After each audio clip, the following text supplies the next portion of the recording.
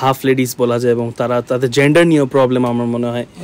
হ্যাঁ তাদের যে বিষয়গুলো তো আসলে চলে আসছে এটা বাস্তবতা। কিছু মিউজিক্যাল ব্যান্ডের মাধ্যমে পাশ্চাত্য সভ্যতাগুলো ঢুকে যাচ্ছে মধ্যপ্রাচ্যে আরব কান্ট্রিগুলোতে এবং খুবই দুঃখের বিষয় হচ্ছে যে যদি আপনি সে সে সমস্ত জেনারেল যুবক যুবতীদের যখন আপনি জিজ্ঞেস করবেন তারা কিন্তু আরব কালচারে বেড়ে ওঠা। কিন্তু খুবই দুঃখের বিষয় হচ্ছে যে তাদেরকে যখন আপনি জিজ্ঞেস করবেন তোমার ফিউচার প্ল্যানিং কি? তখন সে বলবে আমি একজন ডিজে হতে চাই। তাদের আইডল কিন্তু সাহাবারা হচ্ছে না তাদের আইডলরা হচ্ছে যারা আছে, এরা আইডল হচ্ছে। আসসালামু আলাইকুম রহমতুল্লাহ বরকাত আশা করি সবাই ভালো আছেন, আলহামদুলিল্লাহ আমরাও ভালো আছি। অনেক দিন ধরেই ভাবছি আসলে আমরা তো স্পেসিফিক নাশিদ চ্যানেলের উপর কাজ করি নাশিদ নিয়ে কাজ করা হয় তো ওখানে নাশিদই আপলোড করা হয়।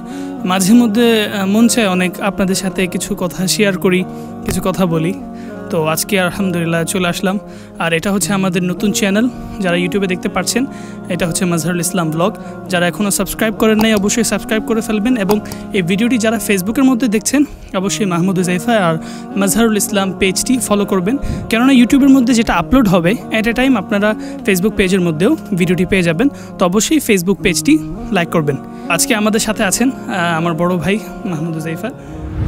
আসসালামু আলাইকুম রহমতুল্লাহ সকলকে শুভেচ্ছা জানাচ্ছি আমাদের নতুন পডকাস্টে আপনারা দেখতে পাচ্ছেন আমার হাতে এখন একটি মোবাইল ফোন আমি মোবাইল ফোনের রেকর্ডের মাধ্যমে আপনাদের সঙ্গে কথা বলছি এবং মাঝার অলরেডি একটি মাইক্রোফোনে কথা বলছে। তো বুঝতেই পারছেন একরকম অপ্রস্তুত থাকা অবস্থায় আপনাদের সঙ্গে কথা বলছি। ইনশাল্লাহ তাআলা ব্যবস্থা হয়ে যাবে। আমরা নতুন করে পডকাস্টে ইনশাল্লাহ যাত্রা শুরু করব। তো এই চ্যানেলে সকলকেই স্বাগত জানাচ্ছি আবারও। তো আজকে আমরা কিছু টপিক নিয়ে আলোচনা করব। যেমনটা হচ্ছে, আমাদের অনেকেই আছেন যে আমাদেরকে প্রশ্ন করেন, ভাইয়া আপনাদের এই যাত্রাটা কোন জায়গায় থেকে শুরু হলো এবং কীভাবে শুরু হলো এই পথ চলা? তো আমি যেটা বলব, আমাদের এই পথ চলাটা আসলে ছোটোবেলা থেকেই ছিল। যে আমরা, আমাদের বাসায় অ্যাকচুয়ালি আমরা তো হুজুর ফ্যামিলির তো আলেম পরিবারের, তো ওরকম কোনো কম্পিউটার ছিল না বা ল্যাপটপ ছিল না। তো দেখা যায় তো আমি আপনার একটা বই নিয়ে ল্যাপটপের মতো আকার করে ওটার মধ্যে এডিটিং করতাম। জাস্ট আমি আপনার নিজের কলম যেটা থাকে সেটা দিয়ে আমি কিবোর্ড বানাতাম। কিবোর্ড বানানোর পর ওটার উপর আমি অ্যালফাবেটগুলো লিখতাম। লেখার পর ওটার মধ্যে আমি টাইপিং করতাম। তো বুঝতে পারতেছেন তখন থেকেই ইচ্ছা ছিল যে আমাদের মিডিয়া জগতে কাজ করা। আর আরেকটা স্টোরি না, আমি ব্যাপারটা একটু ডিফাইড করি। মাজারের এই বিষয়টা আসলে অনেকেই জানে না এবং এটা খুবই ইন্টারেস্টিং একটা বিষয় যে মাজার মাসা আল্লাহ আল্লাহ তালা তাকে অনেক লাইনে ইস্তেদায়াত দিয়েছে এবং এমন এমন বিষয় ইস্তেদায়াত দিয়েছে যেটা আপনারা এখনও জানেন না। মাশাল্লাহ মাজার কিছু কিছু বিষয় অনেক মাহের। যেমনটি মাঝহার খুব ভালো আর্টিস্ট এবং খুব ভালো আর্ট করতে পারে অসাধারণ আর্ট করে এবং সেটা খুব ছোটবেলা থেকে। তো বেসিক্যালি এখানে একটা স্টোরি আছে, আমি যখন মাদ্রাসায় পড়তাম তো প্রত্যেক সপ্তাহে এবং পাক্ষিক ছুটিতে মানে বাসায় আসা হতো। তো মাঝার আমাকে বিভিন্ন ধরনের আর্ট দেখাতো, বিভিন্ন জাস্ট অসাধারণ সেই আর্টগুলো ছিল। আপনি বুঝতে পারছেন মাজার বলছে যে তার কাছে ল্যাপটপ না থাকা অবস্থায়ও সে আর্ট করতো এবং আর্ট করে সেখানে আলফাবেটগুলো লিখতো এবং সে, সেটার মাধ্যমে আর কি মানে পিসি বা কম্পিউটার সে ইউজ করতো। তো আর্টগুলো তার অসাধারণ ছিল।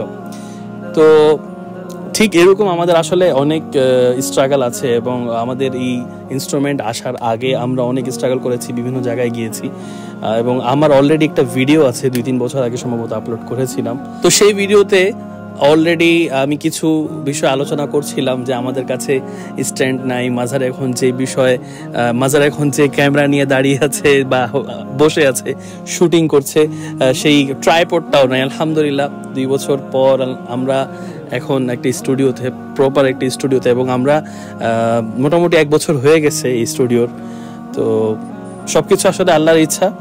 তো মোটামুটি একটা সেট হয়ে গেছে। তো আমাদের এই যাত্রা কীভাবে হয় এবং কীভাবে আমরা আসলে গ্রো করি আল্লাহ তালার ইচ্ছায় এবং আপনাদের খাস দোয়াতে, সেটা এক এক করে আপনাদের সামনে আলোচনা করব। মাঝার কিছু বিষয় বলবে, আমি কিছু বিষয় বলব। তো আমরা কিন্তু এই পডকাস্টটা নতুন করছি। যদি একটু এলোমেলো লাগে তো আপনারা তো আমাদেরই ভাই ব্রাদার মানে আমাদেরই আমাদের। মনে করে। অবশ্যই আপনারা আমাদেরকে কমেন্ট সেকশনে লিখে পাঠাবেন ইনশাআল্লাহ নেক্সট ভিডিওতে ওইটা আমরা ঠিক করার চেষ্টা করব। হ্যাঁ এক্স্যাক্টলি তো আমাদের কিছু বিষয় এলোমেলো লাগবে স্বাভাবিক কারণ ফার্স্ট টাইম আমরা কথা বলছি ক্যামেরার সামনে। তো আপনারা কমেন্ট সেকশনে জানাবেন আমাদের ভুলগুলো ধরিয়ে দেবেন কোনো সমস্যা নাই। এবং আপনারা স্টুডিও বিষয় এবং আমাদের আমরা যে অঙ্গনে কাজ করি সে সকল বিষয় কেউ গজল শিখতে চাচ্ছে কম্পোজিং করতে চাচ্ছে, কীভাবে সাউন্ড ডিজাইনার হতে, হওয়া যায়, কীভাবে প্রপারলি রেকর্ড করা যায়, কীভাবে একজন মুন্সিদ হওয়া যায়, ইত্যাদি বিষয় আমাদেরকে কমেন্ট সেকশনে জিজ্ঞেস করতে পারেন। তো সেই বিষয়ে ইনশাল্লাহ আমরা নতুন করে আরেকটা টপিক নিয়ে পডকাস্ট করব। ইনশাল্লাহ তো প্রথমেই আমরা চলে যাই একদম বিগিনার থেকে কীভাবে স্টার্ট করা। কেননা ভিডিওটি যারা দেখছেন, অবশ্যই আমাদের চ্যানেলে যারা আছেন যারা ভিউয়ার তারা বেশিরভাগ নাসির শুনে তারা পার্সোনাল কাজে বিজি হয়ে যান। কিন্তু যারা আমাদের সাথে স্টে থাকেন, আমাদের সাথে পুরো ভিডিওটি দেখেন, আমার জানা মতে অনেকে আছেন যারা কন্টেন্ট ক্রিয়েট করতে চান। দেখা যায় যে ছোট থেকে ছোট ছেলে এমন এমন ক্রিয়েটিভ আইডিয়া নিয়ে তারা থাকে। তো সুন্দর সুন্দর কাজ করে। আমি কিছুদিন পূর্বেই কয়েকটা ছেলের সাথে কথা বলেছি। তো তাদের আইডিয়া শুনে জাস্ট মাইন্ড ব্লোয়িং তারা হলিউড মুভিকেও তারা পিছনে ফেলে দিচ্ছে। জাস্ট একজন হেফস খানার ছাত্র এবং মাদ্রাসার ছাত্র। তো যারা আছেন, তাদের এই আইডিয়াটাকে কীভাবে ব্রড করা যায় এবং তাদের আইডিয়াটা কীভাবে জাতির সামনে নিয়ে আসা যায়, তো এটা নিয়ে একজন বিজ্ঞানের কীভাবে স্টার্ট করতে পারবে, তো এটা নিয়ে ইনশাল্লাহ আমরা কথা বলব। আর পাশাপাশি এটার সাথে আমাদের স্টোরি বলব, কীভাবে আমরা আগালাম, কীভাবে একদম মন খুলে কথা বলব ইনশাল্লাহ কোন জায়গা থেকে সাপোর্ট পাইনি, কোন জায়গা থেকে সাপোর্ট পেয়েছিলাম, এটা নিয়ে ইনশাল্লাহ কথা বলব। কেননা এটা আপনাদের জন্য অনেক হেল্পফুল হবে। তো প্রথমেই জানতে চাই যে ইনস্ট্রুমেন্টগুলো আসলে মোস্ট ইম্পর্টেন্ট যে কোনো কাজের ক্ষেত্রে, যেমন আপনি একটা খাতা যদি আপনি লিখতে চান, অবশ্যই আপনার কলম প্রয়োজন। তো ঠিক একইভাবে আপনি যদি ইন্ডাস্ট্রিতে কাজ করতে চান, তো আপনাদের অনেক বেশি ইম্পর্টেন্ট হচ্ছে ইনস্ট্রুমেন্টগুলা তো ইনস্ট্রুমেন্ট অনেক প্রাইস রেঞ্জের আছে, যেমন অনেক হাই রেঞ্জেরও থাকে, অনেক লো রেঞ্জেরও থাকে, কিন্তু ইনস্ট্রুমেন্ট ইম্পর্টেন্ট আমার কথাটা বোঝার চেষ্টা করবেন, আমি বলছি ইনস্ট্রুমেন্ট যেটা দিয়ে আপনি কাজটা করতে পারবেন, সেটা লো কোয়ালিটি হোক বা হাই কোয়ালিটি হোক ডিজেন্ট ম্যাটার ফ্যাক্ট হচ্ছে আপনি কাজটা করতে পারবেন। তো প্রথমে আমরা কীভাবে কাজটা স্টার্ট করি কীভাবে আমরা কম্পিউটার নেই, কীভাবে আমরা মাইক্রোফোনটা কালেক্ট করি, কীভাবে আমরা জানতে পারি? এইসব বিষয়ে কালেক্ট করেছিল আমার বড় ভাই। তো আমি বড় ভাইয়ের কাছে জানতে চাচ্ছি যে, কীভাবে কম্পিউটারটা কিনা হলো? কীভাবে স্যাক্রিফাইস করে, কোন দিক দিয়ে মানে অনেক ধাক্কা খাওয়া হয়? এই জগতে আসার আগে অনেক জায়গা থেকে ধাক্কা খাওয়া হয়। তো টোটাল একটা ফুল স্টোরি ইনশাল্লাহ বড় ভাইয়ের মুখ থেকে শুনব। তো ওইটার পরে আমরা আলোচনা করব কীভাবে আপনি আপনার স্কিলসগুলো ডেভেলপ করতে পারেন প্রফেশনালি এবং কীভাবে যে ইনস্ট্রুমেন্টগুলো নেবেন ওটা দিয়ে কাজ করতে পারেন। খুবই সুন্দর এবং অসাধারণ প্রশ্ন করেছে মাজহারুল ইসলাম। তো এটা কিন্তু প্রতিনিয়ত আমার কাছে প্রশ্নগুলো আসতে থাকে এবং আমি মাজার কাছে কি বলব? মাজার তো জানি মাজার কাছে অনেকে প্রশ্ন করে যে, ভাই, কোন মাইক্রোফোন কিনলে ভালো হয়? কোন ল্যাপটপ কিনলে ভালো হয়? এটা কি পিসি লাগবে কি না বা কোন কনফিগারেশনের লাগবে? ইত্যাদি ইত্যাদি অনেক ধরনের প্রশ্ন থাকে। তো আমার কথা হচ্ছে যে আসলে ইনস্ট্রুমেন্টের আগে আপনার নিজের নিয়তটা কিন্তু পারফেক্ট করতে হবে। যে আসলে আপনার এই অঙ্গনে যে আপনি কাজ করতে যাচ্ছেন, সেটার ইচ্ছার গভীরতা কতটুকু এবং আপনি খিদমাতের যে নিয়তটা, এটা কতটুকু? এটা খুবই ইম্পর্ট্যান্ট একটা বিষয়। তো আপনার মধ্যে যখন এখলাস চলে আসবে, আপনি যখন এখলাসের সাথে কাজ করবেন এখলাসের জন্য অবশ্যই আল্লাহর কাছেই চাইতে হবে। বান্দার হাতে তো আসলে এটা নাই বান্দার চেষ্টা করবে এবং আল্লাহ তালা ইচ্ছায় সে করবে। তো কথা হচ্ছে যে, আমাদের মাকসাদটা ঠিক রাখতে হবে। আগে মাকসাদটা যদি হয় যে ইসলামী সাংস্কৃতিক অঙ্গনে কাজ করা এবং এটাকে ডেভেলপ করা এবং অপসংস্কৃতি যে বিষয়টা আছে সেটাকে আমরা বিলুপ্ত করার একটা সেটাকে সংগ্রাম বলতে পারি। এরকম একটা নিয়ত থাকতে হবে। তারপর আমরা ইনস্ট্রুমেন্টে যাব। তবে স্পৃহাটা খুব মূল। হ্যাঁ এটার মধ্যখানে হ্যাঁ হ্যাঁ এটার মধ্যখানে আমি একটা কথা বলি। ভাই, অনেক অসাধারণ একটা কথা বলেছে যে এন্টারটেইন যে বিষয়টা আছে, এটা নিয়ে কিন্তু একটা জাতিকে নষ্ট করে দেওয়া যায়। তো এই জিনিসটা আমাদের সোশ্যাল সাইট প্ল্যাটফর্মে অনেক কথা বলাও যায় না, কেননা অনেক পলিসি থাকে। তো সোজা কথা যারা বুঝেন একটা এন্টারটেইন সাইট নিয়ে আপনি পুরো ফুল একটা হোল কান্ট্রিকে নষ্ট করে দিতে পারেন ইসলামকে একদম ওখান থেকে বিলীন করে দিতে পারেন। কেননা এমনভাবে প্রেজেন্ট করা হয় যারা নিউ জেনারেশন এটা কিন্তু নেচার আপনি দেখবেন একটা ছোট ছেলেকে যদি আপনি আল্লাহ শিখান সে আল্লাহ বলবে। আর যদি তাকে আপনি গান শিখান বা নাচ গান শিখান অবশ্যই নাচ গান শিখবে। আমরা আমাদের দেশে হ্যাঁ। আমরা আমাদের দেশে দেখতে পাচ্ছি যে একটা ছোট বাচ্চা জন্মগ্রহণ করেছে তারপরে সে স্কুলে যাচ্ছে ওখানে ডান্স নাচ গান হচ্ছে। সে বড় হয়ে কিন্তু তাদেরকেই ফলো করছে। তাদের আইডল কিন্তু সাহাবারা হচ্ছে না। তাদের আইডলরা হচ্ছে যারা আছে এরা আইডল হচ্ছে। তো একটা এন্টারটেইন যে জায়গাটা আছে, এটা যদি ভালো করে ধরা হয়, তো আমাদের যে নতুন প্রজন্ম যারা আছেন নিউ জেনারেশন ইনশাল্লাহ তাদেরকে কাম ব্যাক করা যাবে দিনের মধ্যে অবশ্যই। তো এটা অনেক ইম্পর্টেন্ট একটা বিষয় ক্লাস ঠিক হওয়া। টপিক তো আসলে কথা বলে স্টার্ট হলে অনেক ধরনেরই কথা চলে আসে। তো মাঝার যে বিষয়টা বলছে, আমার মনে হয় এই বিষয়টা নিয়ে আলোচনা করাটা খুব জরুরি। সেটা হচ্ছে এন্টারটেইন এর গুরুত্বটা আসলে আমাদের প্যারেন্টসদের কাছে কতটুকু এবং তাদের অজান্তেই তারা কতটা গুরুত্ব দিচ্ছে। তাদের, তারা কিন্তু আলটিমেটলি জিনিসটাকে অনেক বেশি গুরুত্ব দিচ্ছে। দেখেন, আজকে কিন্তু মোবাইল অ্যান্ড্রয়েড মোবাইল কারও হাতে নেই, এরকম কিন্তু মানুষ খুব কমই পাওয়া যায়। তো স্ক্রলিং সবাই করছে ইউটিউব বলেন ফেসবুক বলেন, বিভিন্ন সোশ্যাল সাইটে সবাই কিন্তু স্ক্রলিং করছে। তো দেখবেন যে বিভিন্ন ধরনের ড্যান্স শো বলেন মিউজিক্যাল শো তো ছোট ছোট বাচ্চারা খুব ট্যালেন্টেড তারা খুব সুন্দর করে তারা ড্যান্স করছে। হ্যাঁ আমি জাস্ট আইডিয়া দেওয়ার জন্য বলছি। তো ব্যাপারগুলো কিন্তু এন্টারটেইন পর্যায়ে। আমরাও কিন্তু সেটাকে একরকম দেখে ফেলতেছি। কিন্তু আমরা কখনো সেটা চিন্তা করি না যেটা কতটা ইম্প্যাক্ট ফেলতেছে আমাদের বাচ্চাদের উপর। তো আমরা আমরা সেই জায়গা থেকে কতটুকু ইসলামের জন্য খেদমত করছি আমরা আমাদের বাচ্চাদেরকে কতটুকু ট্রেন করছি। তো মাজা যে বিষয়টা বলছিল এন্টারটেইনের আলটিমেটলি এই জিনিসটা পুরো জাতিকে ধ্বংস করে দিচ্ছে এবং এটা আসলেও সত্য। তো এই বিষয়গুলো আসলে মিউজিকের মাধ্যমে হয়েছে এটাই দুঃখজনক।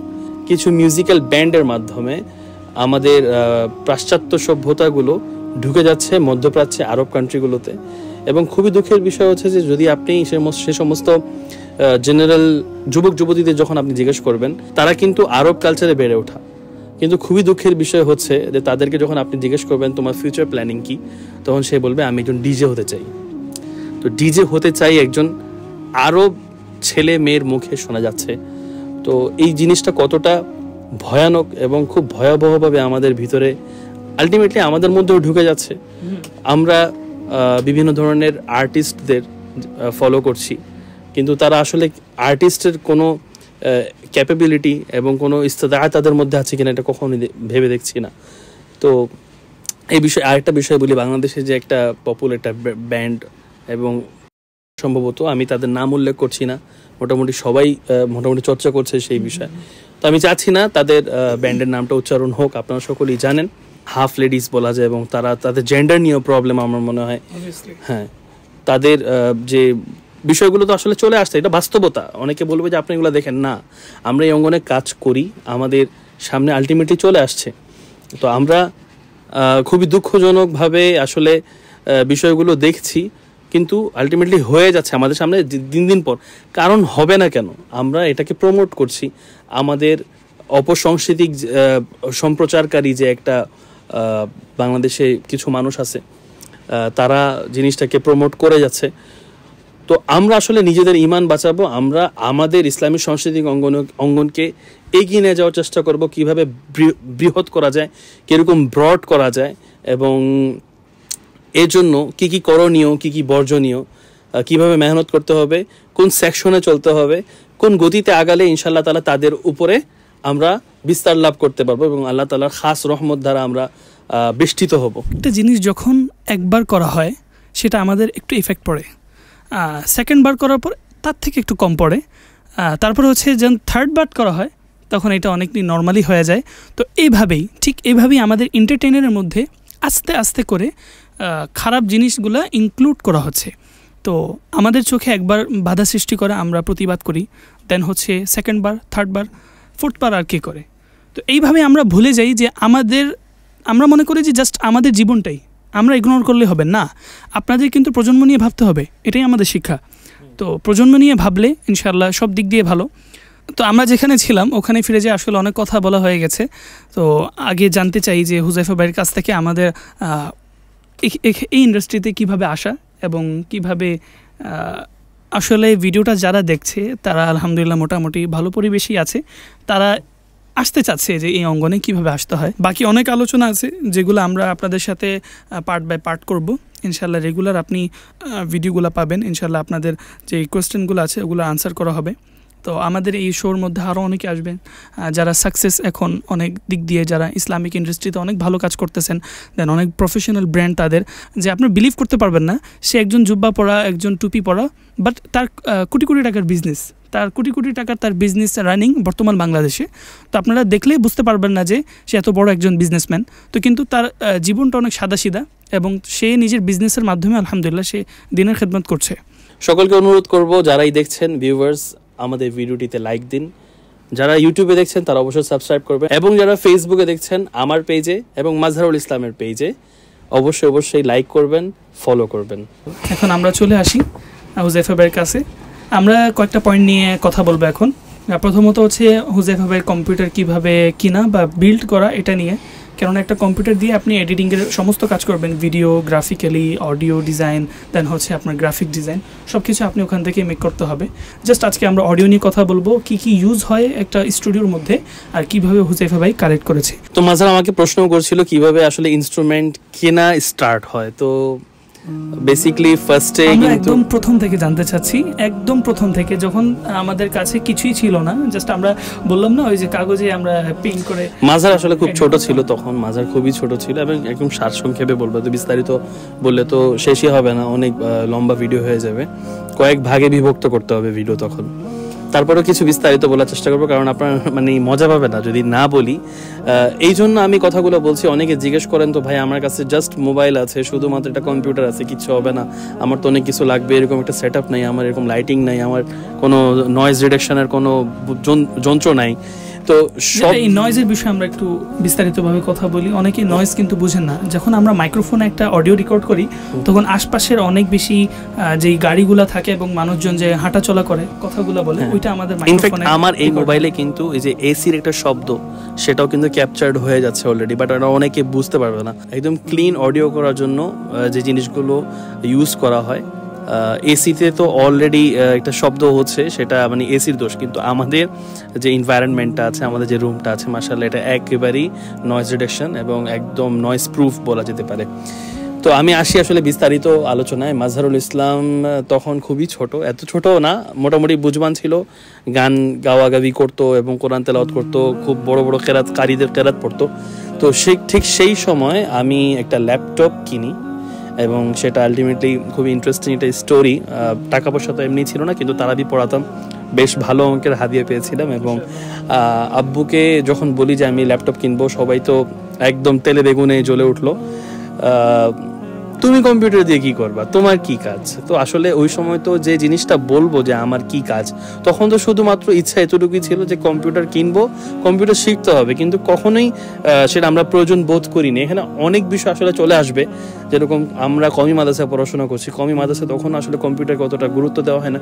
স্বাভাবিক এটা কোন সনের কথা হইতে পারে? এটা হচ্ছে আমার হবে যখন আমি তাইসির মিজান অনেক আগে তখন আমি হেফসানা থেকে মাত্র মানে হেফসানা বলব না মানে জাস্ট নাহমির বা হেদায়তুন্নহ জামাতে তখন আমি পড়াশোনা করছি যারা জেনারেল আছেন যারা নাহমির হেদায়া বুঝেন না তাদের জন্য একটু যদি খোলামেলা করে যদি বলেন। না তাদের জন্য আমি কিছু বলব না তাদের জন্য বলব যে আপনারা এতটুকু যদি না করতে পারেন যে নাহমির হেদায়া কোন জামাত তো আসলে জামাত এটা আমি বলব না যেটা ক্লাসকে বলা হচ্ছে অনেকে অন্য কিছু মাইন্ডে নিবে কিন্তু আপনাদের জানতে হবে ব্যাপারগুলো আরবি. ইস্তেলাহাতগুলো জানতে হবে। এত আমাদের এটাই ভুল আমরা যে এই সব বিষয়ে জানি না এই জন্য আমরা কিন্তু আগাতে পারছি না হ্যাঁ ইসলামিক হয়ে ইসলামিক যে নাসিদের যে প্রচলনটা আলহামদুলিল্লাহ যে আরবি নাসিদগুলো আমরা গাছি কিছু মানুষ তো এরকম আছে যে ওজেফা ভাই আপনারা নিজের সাবটাইটেলস দেন না বলে এখন আরবি শিখতে বসছি। তো এটা আসলে পরিবর্তন আসবে যখন আমরা বেশি বেশি আরবি ইস্তালাহাতগুলো যখন ইউজ করব, তখন ইনশাল্লাহ ইনশাল্লাহ তালা আপনারা মাদ্রাসায় গিয়ে জিজ্ঞেস করবেন যে নামে মির হেদাতুন্নহ কাফি, এটা কোন কোন ক্লাসের নাম? তো আমি চাই মানে আমাদের ইসলামী শিক্ষার তার কতটুকু প্রয়োজনীয় এবং আপনাদের কি কতটুকু জানা উচিত, আপনাদের জানা উচিত বিষয়গুলো, তো জাস্ট এখন একটু ইঙ্গিত করছি আর কি।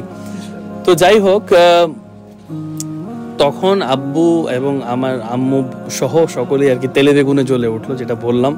তারপরেও যে আমরা খুব জেদ করে, যেহেতু একটা পাওয়ার ছিল যে আমি তারাবের হাদিয়া পেয়েছি, তো সেই ক্ষেত্রে আসলে না বলার কিছু ছিল না। আলটিমেটলি আব্বু একজন তার বন্ধুকে নিয়ে গেলেন সাথে, তো আমরা একটা ল্যাপটপ কিনলাম একটা ভালো ব্র্যান্ডের ল্যাপটপ ছিল। তো সেখান থেকে আসলে আমাদের স্টার্ট করা। তখন আব্বু অনেক বলেছিলেন তো একটা পিসি নিয়ে নাও। কিন্তু আমরা ফার্স্টেই আগাতে চাচ্ছিলাম যে, না ল্যাপটপ নিতে হবে পিসি দিয়ে কী করব? অথচ এর আগে কখনো আমরা মানে পিসি ওভাবে ইউজ করি নাই মাঝে মধ্যে বিভিন্ন জায়গায় গিয়ে পিসি ইউজ করা হতো, কিন্তু নিজেদের তো কোনো কখনো ছিল না। তো যাই হোক, এইভাবে আর কি আমাদের ফার্স্ট ল্যাপটপটা কিনা হয়। এইভাবে আমাদের প্রথম ল্যাপটপটা কিনা হয়। আমি এটার মধ্যে একটু কথা বলি। আমার কাছে ছোটোবেলায় পিসি যখন আমি অন্য, অন্যদের বাসায় দেখতাম যে আব্বুর বন্ধু বান্ধব যারা আছে, তো আমার কাছে জাস্ট অন্যরকম একটা লাগতো যে আমি আজকে এসেছি বেড়ানোর জন্য, আমার যাই, আসতে মন চাইতো না বাসায়। কেননা আমার মন চাইতো যে আমি থাকি কম্পিউটারে একটু রিসার্চ করি কম্পিউটার নিয়ে কাজ করি। তো ল্যাপটপে প্রথমত হচ্ছে আপনাদের রেকর্ডিং যেই কাজটা, আমরা ছোটোখাটো একটা সফটওয়্যার দিয়ে স্টার্ট করি। ওটার নাম হচ্ছে অডাসিটি এটা প্রথমেই হুজাইফা ভাই রিসার্চ করে ডাউনলোড করে এবং ওটার মধ্যে ফোন দিয়ে রেকর্ডিং করার পর ওই অডিওটাকে কিছু এডিট করা হয়। এরপর আস্তে আস্তে আমরা একটা প্রফেশনাল ড আছে, যেটা সবাই জানেন ফেল স্টুডিও সেটার মধ্যে আমরা এডিট করি। ইভেন আমি কোর্স করাচ্ছি, আলহামদুলিল্লাহ। অনেকেই আমার কাছে যারা ক্লাস করতেছেন, তারা এফএল স্টুডিওর মাধ্যমেই ক্লাস করছেন। তো, পরবর্তীতে যে আমাদের পিসি নেওয়া হলো পিসি থেকে আমাদের যে ইনস্ট্রুমেন্ট নেওয়া হলো কি কি নেওয়া হলো অনেক বিষয়ে আসলে প্রয়োজন হয়। একটা স্টুডিও করার জন্য নর্মালি আপনি একটা কম্পিউটার দিয়ে করতে পারবেন না মাইক্রোফোনের সাথে অনেক কিছুই লাগে। তো স্টেপ বাই স্টেপ বা এক এক একটা জিনিস জানব এবং অবশ্যই এখন যেহেতু দাম অনেক সবাই জানে যে তেলের দাম অনেক বেশি বেড়ে গেছে। তো অবভিয়াসলি ইনস্ট্রুমেন্টের দাম কিন্তু যেটা দশ হাজার টাকা ছিল সেটা পনেরো হাজার টাকা হয়ে গেছে।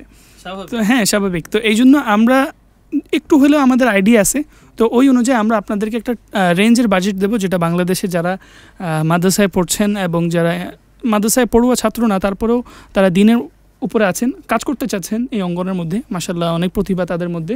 তো তাদের একটা রেঞ্জ থাকে, সবার একটা রেঞ্জ থাকে। যেহেতু আমরা কাজ করি, আমরা জানি, প্রায় ষাট সত্তর হাজার বা এক লাখের নিচে।